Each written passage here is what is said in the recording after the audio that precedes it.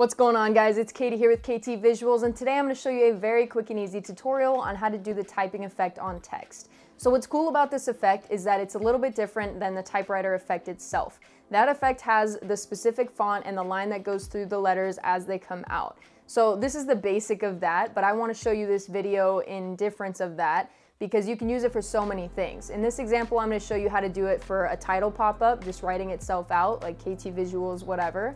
And I also have this example that I created for you guys that you can see. It types it out as the audience member is reading it. So you can keep the pace there and it gives it a cool little different effect to it than your just regular everyday title pop-up. So let's get to it.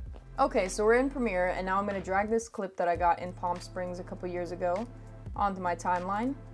And I want my text to appear right about here. So let's go into editing Type the text you want, make it look however you want. I'm just gonna put KT Visuals for the sake of the video. And I wanna center it a little bit. Okay, so now that you have your text, let's go to effects. Type in linear wipe. Drag it onto your text. Back to editing.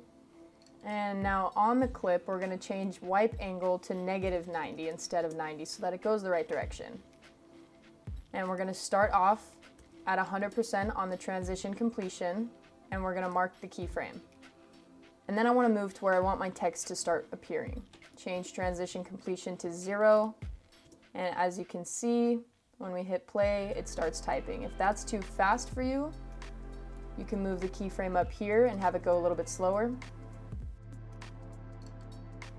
And there you go, now your text is typing away and I think it looks pretty cool. So now if you want to use this on other types of videos, like I was saying earlier, if you want to create a paragraph that is typing itself out so people can read along with you, and if you guys want to learn how to do the actual typewriter effect or use this in a paragraph, let me know and that'll be my next video.